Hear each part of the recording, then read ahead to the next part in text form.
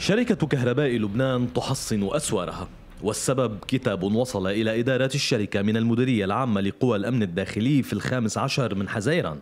تطلب فيه إلى الشركة أخذ الاحتياطات اللازمة تحسبا لأي تظاهرات وأعمال شغب. هكذا احترقت شركة أنال للكهرباء في تشيلي بعدما عمد عدد من المتظاهرين إلى إحراق مقرها احتجاجا على سياسة التقشف. منذ بدء الأزمة الاقتصادية والمالية وعلى الرغم من إقفال المطار وعدم توافد سياح إلى البلاد وإجراءات التقنين القاسية مستمرة في عدد كبير من المناطق اللبنانية إذ يصل في عدد من المناطق إلى 22 ساعة في اليوم.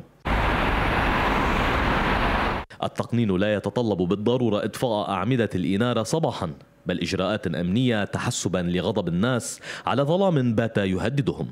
معلومات الجديد تشير إلى أن معامل إنتاج الكهرباء في الذوق والجية ودير عمار والزهراني دخلت جميعا في مرحلة الخطر نتيجة نفاد مادة الفيول.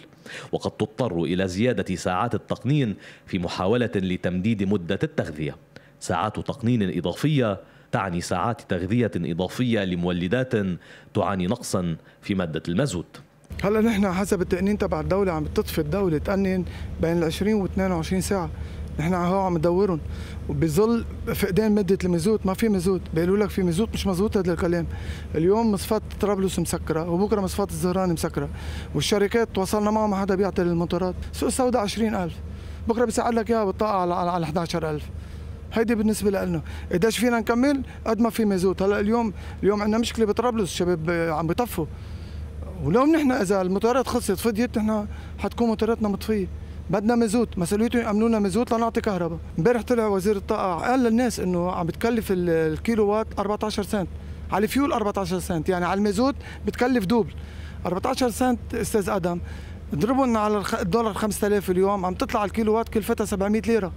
كلفتها بدون أرباح طب وأنت كيف عم تسعر لي ب 330 ليرة؟ كيف بدي اكمل؟ سنتين بنقول لهم بدنا جدول التسعيرة، تونا لا تعرف كيف عم بتسعروا لنا، رفضوا يعطونا إياها، هلا أخذنا امبارح قرار قضائي، أخذنا قرار من القضاء بإلزامهم تسليمنا جدول التسعيرة.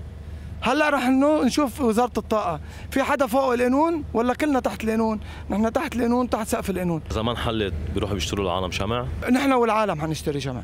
لأنه نحن عم نضوي من هون المطارات حنقعد على العتمة. في انتظار فيول في عرض البحر ومازوت من المخازن حري بنا أن نستعد لوسائل تعطي الإنارة اللازمة بأشكال تنبئ بالمستقبل الذي ينتظرنا. آدم شمس الدين قناة الجديد.